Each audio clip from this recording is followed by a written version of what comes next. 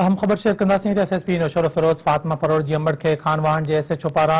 धमकी दिन नोटिस वरतो वो है एस एस पी खान वाहन के S H O Abdul Ghani दायो के मुतल कर लाइन हाज़िर कर छो है S S P Naushahro Feroze पारा डी एस पी के बिन दिन अंदर जांच मुकम्मल कर रिपोर्ट पेश कर हुक्म दिनों वो है आहे अहम ख़बर असां शेयर क्यों पिया S S P Naushahro Feroze Fatima Feroze जी अमर के खान वाहन के एस एच ओ पारा धमकी दिन नोटिस वरतो वो है S S P Khan Wahan जी S H O Abdul Ghani Dayo line हाज़िर करे छॾियो आहे S S P Naushahro Feroze पारां डी एस पी ॿिनि ॾींहनि अंदरु जांच मुकमल करे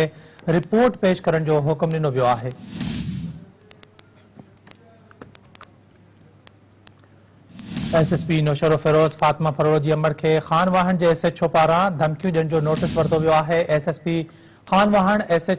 गनी दायो के मुतल करे लाइन हाज़िर करे छॾियो है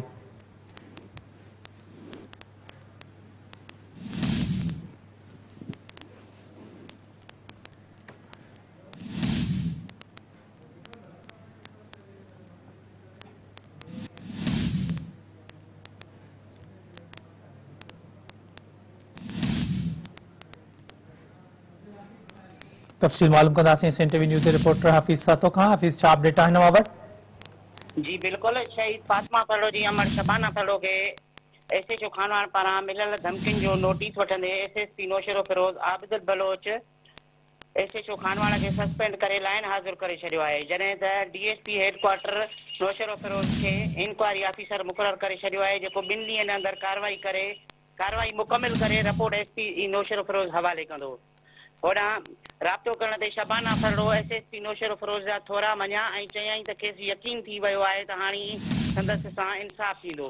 ॿिए पासे एस ए शो खान वारा अब्दुल गनी दायो जो हर माण्हूअ सां अडंगो रवे जूं पिण शिकायतूं जाम हुयूं जी हफ़ीज़ साहब तो अपडेट ॾियण लाइ वॾी महिरबानी